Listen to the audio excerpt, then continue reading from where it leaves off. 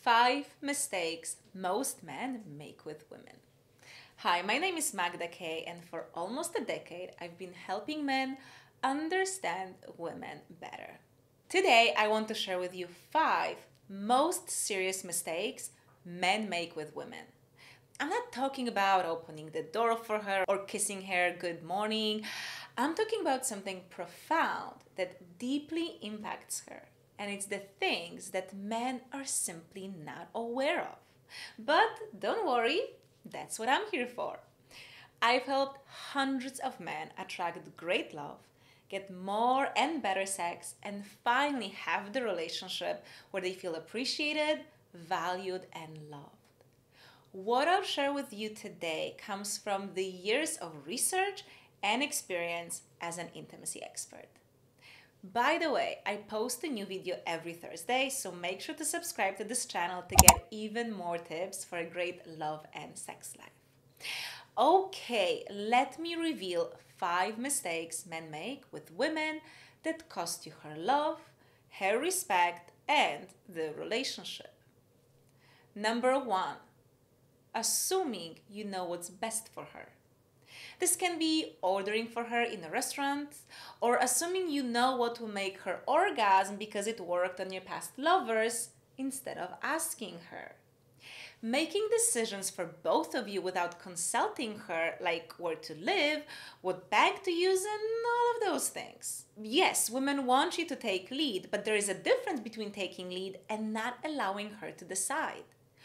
The secret is this you want to ask her first. Let her tell you what she likes and wants. And then once you know it, you take over. Let her tell you what she wants and you make sure it's done. So, for example, if you want to take her out for dinner, instead of picking a restaurant yourself, ask her, Do you like Italian? Or what do you prefer, sushi or Mexican? And once you know, now you take charge and take care of booking the restaurant. Or ask her about the things that really turn her on and what usually works for her in the bedroom. Then, next time you make love, you take charge and do all the things she had told you about. Make sense? Number two, you don't listen.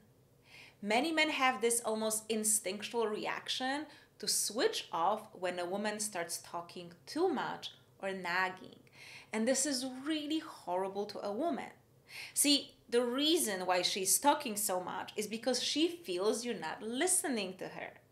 So, by withdrawing, you only make her feel more ignored and nag even more. If it is too much for you, then ask her to finish this conversation later. You could say, honey, we're arguing here and that won't lead to anything good. Let's take this evening to cool off and finish tomorrow. You'll see that by tomorrow, she won't be so agitated and you'll be able to have a normal conversation.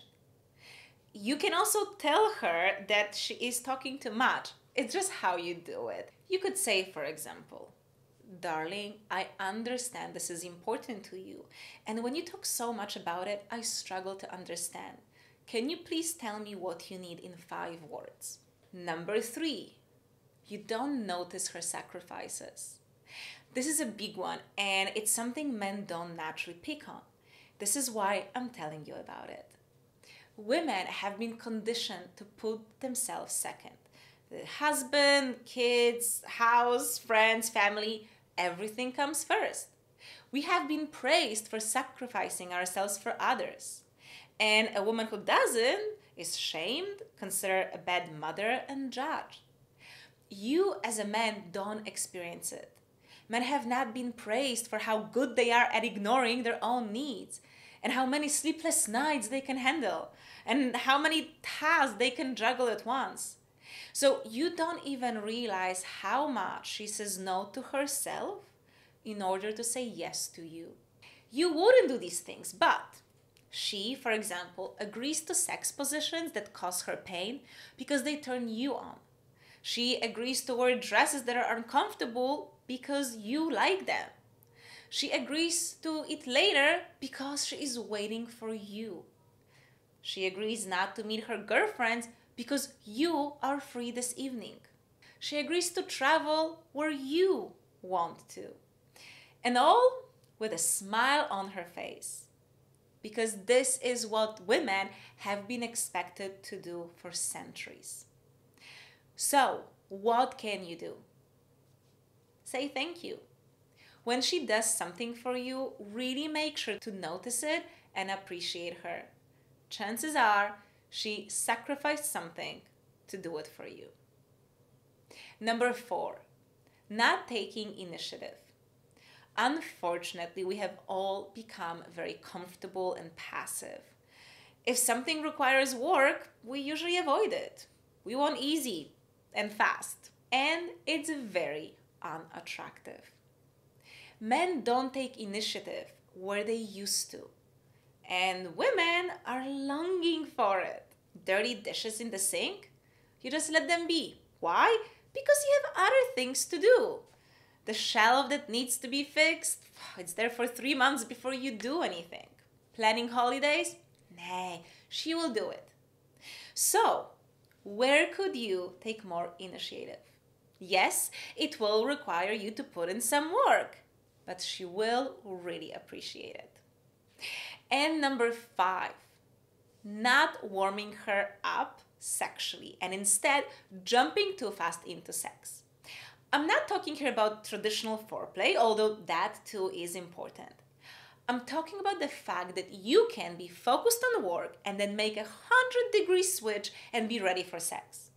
But she doesn't work like that. Well, okay, she does in the honeymoon phase. Women can be just as horny, but once the hormones level up, her body goes back to working differently. You have to put the idea of sex into a woman's mind way before actual sex. Expecting her to be in the mood out of nowhere is a major mistake many men make. And then you feel rejected and think that she doesn't want to have sex with you anymore. This is not true. But if you don't warm her before, her body will simply not turn on. This isn't about her loving or desiring you, it's about biology. So, send her naughty texts throughout the day, take her out for a romantic dinner first. Remember, women's arousal needs to build up. By being mindful of these five things, you'll see your woman will be more responsive, happier, more giving, and you will have the relationship you want. It's a win win. If you'd like to know more about women, I have an incredible training that I highly recommend. It's called Female Sexuality Decoded, and it teaches you all the secrets about what women need in and outside of the bedroom. These are the things she won't tell you because women are not consciously aware of them, but they do react to them. I created this course because women ask me to. I was holding workshops for women, helping them become multi orgasmic, and they asked me to teach this to men too. This is how Female Sexuality Decoded was born. Hundreds of men are enjoying better relationships and a better sex life thanks to this training. So, check the link below this video to become a master of the bedroom. And thank you so much for being here. I hope you enjoyed this video. And if you did, please give it a like. It really means a lot to me. And if you're not yet a part of our tribe, make sure to subscribe. I post a new video every Thursday. And make sure to click on the bell icon. You need it to get notified about the next video. Otherwise, you may miss it. My love, it's been great having you here, and I hope to see you next week.